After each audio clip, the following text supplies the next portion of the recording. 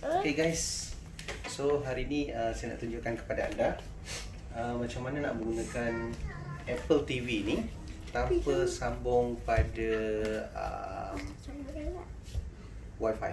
Okay, so sebenarnya tanpa sambung Wi-Fi pun anda boleh sambungkan anda punya Apple device sama ada iPad ataupun iPhone anda.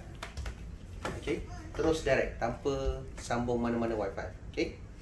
So sebagai contoh, okay, saya tunjukkan pada iPad saya Saya tak sambung mana-mana wifi Sama juga pada Apple TV Yang ini saya gunakan Apple TV Gen 3 okay? Yang ini Gen 3 okay.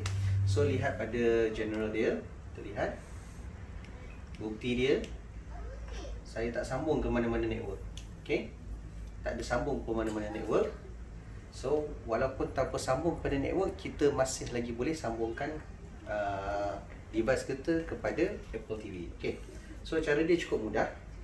Um, melalui uh, gadget anda, iPhone ataupun iPad, yang ni iPad, kita cuma perlu tarik di atas sini. Okay. Ada menu screen mirroring. Tekan screen mirroring. So, bila tekan screen mirroring, dia akan keluarkan uh, nama Apple TV yang ini. So, kita tekan Apple TV dan dia akan keluarkan kod.